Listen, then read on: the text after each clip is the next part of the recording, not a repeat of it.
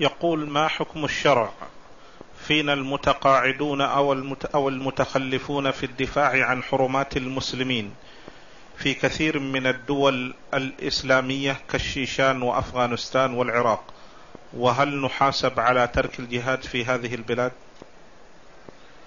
الجهاد مع الاستطاعة مع الاستطاعة أما اللي ما يستطيع عنده أعذار هذا معذور ولكن عليه يجاهد بالدعاء والمساعدة بالمال.